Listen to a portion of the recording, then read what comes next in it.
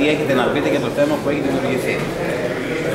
Πιστεύουμε σαν σύλλογος ότι είναι συνταγματικό μας δικαίωμα τα λεφτά των γονιών μας να τα διαθέσουμε με όποιο νόμιμο τρόπο πιστεύουμε εμείς για να μετακινούμαστε στο τέλος μας.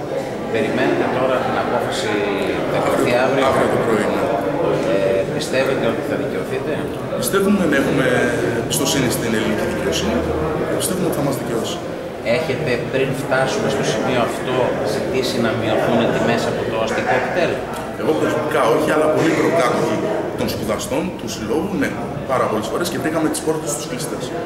Οκ, ευχαριστώ. Να είστε καλά.